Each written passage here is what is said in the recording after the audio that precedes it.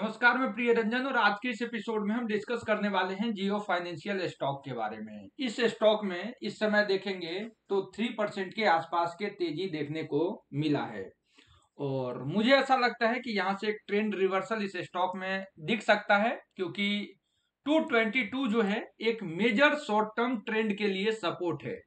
और आज की क्लोजिंग इस सपोर्ट के ऊपर ही दिखी है। तो आगे के क्या टेक्निकल ट्रेंड्स दिखेंगे, कौन से लेवल को आप आपको ध्यान पे रखने चाहिए, सभी पॉइंट्स को फाइंड आउट करें। तो एपिसोड में लास्ट तक बने रहें। प्रीमियम टेलीग्राम को ज्वाइन कर लें, जो कि बिल्कुल फ्री है। और डिस्क्रिप्शन के लिंक से चाहेंगे तो अकाउंट ओपन कर लें, जिससे आपको active trading community learning group में जोड़ दिया जाएगा। इसी प्राइस पे कंसोलिडेट के बाद ब्रेकडाउन हुआ। यही देखेंगे रेजिस्टेंस रहा और अगेन ये लेवल ब्रेकआउट के लिए दिख रहा है। तो इस प्रकार से प्रतीत होता है कि शॉर्ट टर्म में एक बड़े गेन भी इस स्टॉक में दिख सकते हैं।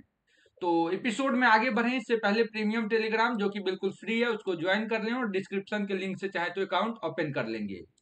इस समय जो इस स्टॉक में डिलीवरी रही है, वो मोर देन सेवेंटी परसेंट की रही है। कंटिन्यूस डिलीवरी काफ़ी बेटर रहे हैं। टेक्निकल ट्रेंड देखेंगे तो टेक्निकली जो है, वीकली टाइम फ्रेम पे ये अपने सेक्टर को और परफॉर्म कर रही है।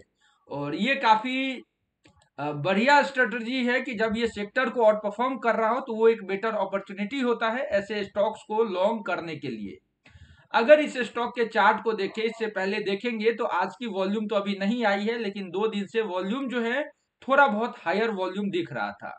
और हायर वॉल्यूम के साथ स्टॉक में एकुमुलेशन दिखे हैं।